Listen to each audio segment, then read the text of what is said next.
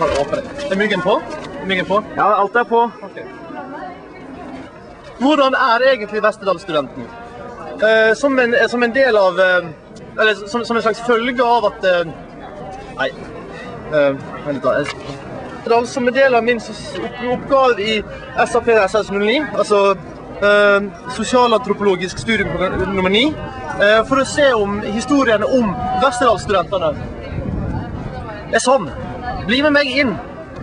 Bli med meg inn.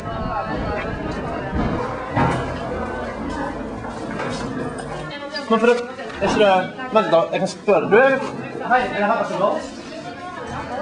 Det her det er, det er, det er Vesterdals. OK.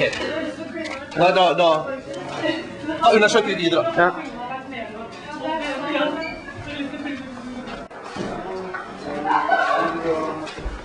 Eh, for å liksom undersøke Er, er, er, er Vesterdalsstudenten uh, lekestudenten? Er det en student som bare leker seg frem til de kreative løsningene? Eller er det liksom en del av Oi. Nå er vi utenfor et klasserom på Westerdals, andre klasse Art Direction. Uh, Og vi skal undersøke om Westerdals faktisk er en lekeskole der de bare leker.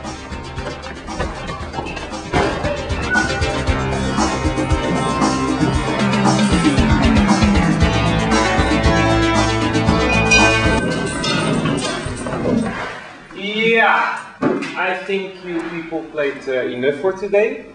And now I would like you to uh, write down all the positive feelings that it brought you. And uh, an applause for yourself.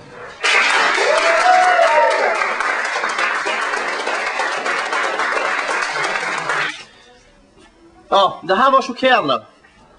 Jeg var, jo, jeg var jo klar over at alle var gale, men det her er alarmerende.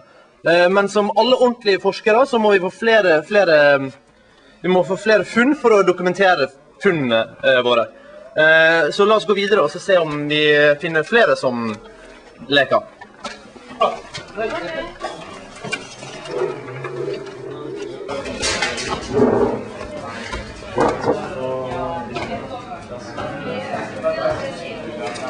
Kom igjen.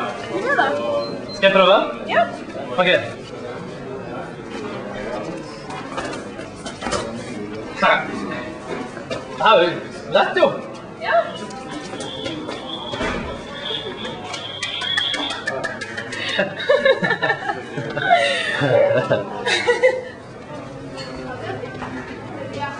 Hva er det nå? Det var liksom ganger og alt. Jeg mener, hvor er, hvor er folk? Jeg kjenner liksom